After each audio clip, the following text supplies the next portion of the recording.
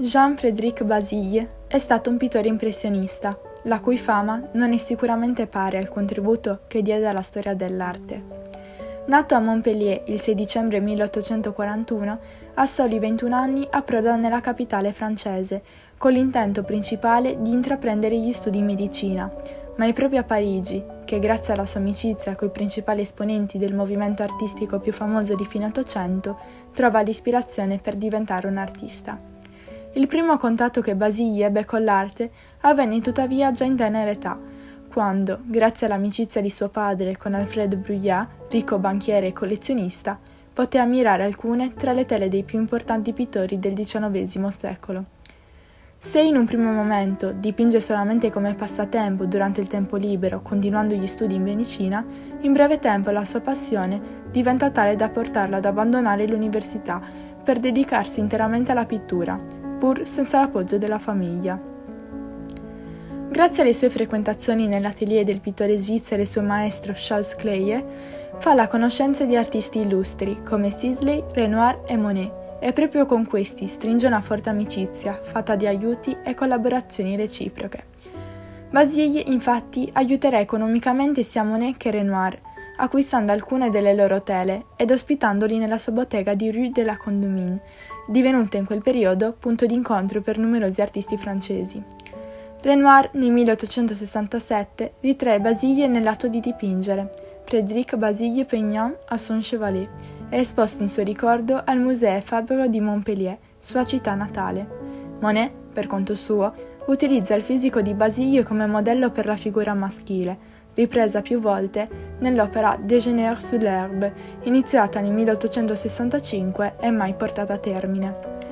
Come primo genere nel quale Basile cerca di cimentarsi, troviamo la natura morta. Esempio di questo genere è il quadro I pesci, opera buia e accurata, dove si scorge non solo l'influenza dei maestri olandesi o fiamminghi, ma anche quella di Manet. La bella natura morta con Eirone, d'altra parte, rivela la passione dell'artista per la caccia, praticata insieme al padre nei dintorni di Montpellier, oltre che l'influenza esercitata dai trofei di caccia dipinti da Audry o Chardin, dei quali riscopre l'irismo discreto e l'elegante semplicità. Animato tuttavia dal desiderio di dipingere dal vivo, i primi tentativi di studi del paesaggio avvengono grazie all'amico Monet. È nella foresta di Fontainebleau che Basile comincia ad inquadrare in maniera brusca il paesaggio e si cimenta nel dipingerne soltanto i colori, i contrasti, sviluppando la particolare tecnica pittorica dal nome en plein air. I due viaggiano insieme a più riprese, ma è solo dopo il soggiorno a Cheilly, durante il quale Basile ritrae il suo amico, costretto a letto dopo un incidente, nell'ospedale da campo improvvisato, che acquista simbolicamente la propria indipendenza. Se i primi dipinti del maestro sono stati infatti influenzati dallo stile di Manet e dal suo amico Monet, ci sono diverse opere successive che raccontano invece la nascita di uno stile unico e distintivo, basato sul soffermarsi sullo studio della luce, delle ombre e dei colori, ed è proprio nel cuore della sua terra natale che Basile trova l'espressione del suo temperamento.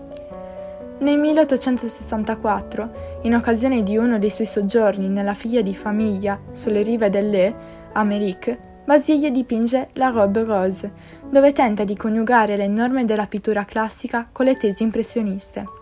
Il quadro ritrae sua cugina, che dà alle spalle allo spettatore e volge lo sguardo in direzione del borgo. Per accentuare il contrasto tra lo sfondo e il primo piano, Basile inserisce alcuni alberi, nell'ombra come la figura femminile, che inquadrano il secondo piano e mettono in risalto la luce cruda del mezzogiorno, che taglia ed evidenzia i contorni.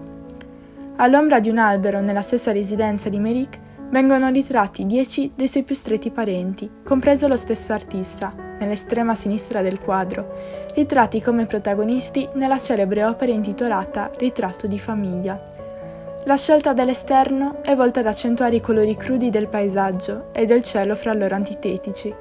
La luce che filtra attraverso il fogliame mette in risalto gli abiti chiari, che si contrappongono ai toni scuri delle vesti, di uno scialle o di un grembiule. Tutto è giocato perciò sulle diverse gradazioni delle luci e delle ombre. Queste ultime risultano anch'esse colorate, solo con tonalità più scure. Dopo i quadretti di vita familiari di Méric, Masiglie si allontana progressivamente dalla casa per addentrarsi nella natura sulle rive dell'E, dove può disporre, en plein air, di corpi atletici e luminosi, operando tuttavia con lentezza e ponderazione, nel tentativo di restituire ad ogni cosa il suo peso e il suo volume, e non soltanto di dipingere l'apparenza delle cose. Nelle due versioni della giovane donna con peonie, in cui una venditrice offre un mazzo di peonie scelto dal suo ricco cesto di fiori di stagione, richiamando a certi quadri di Manet, Basile coniuga la natura morta con la pittura di figura. In esse non solo l'artista riesce a evidenziare le forme tra luce e colore e i volumi schietti, ma si ritrova la predilezione per le figure calme, assorte nella loro attività, o, al contrario, che non hanno paura di fissare lo spettatore diritto negli occhi. Tuttavia, nonostante il suo straordinario talento, che in poco tempo lo rende uno dei pittori più famosi sulla scena francese di quel periodo, il 28 novembre 1870, a 29 anni non ancora compiuti, muore combattendo la guerra franco-prussiana, colpito da due pallottole. La morte prematura di Basile, ricordato come un giovane appassionato, altruista e dai modi gentili, colpisce particolarmente il mondo artistico, lasciando tutti senza parole.